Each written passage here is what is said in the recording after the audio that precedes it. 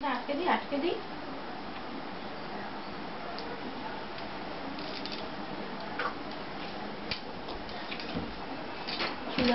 হয়নি।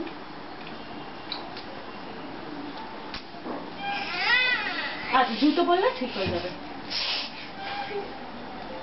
জুতো পরলে ঠিক হয়ে যাবে।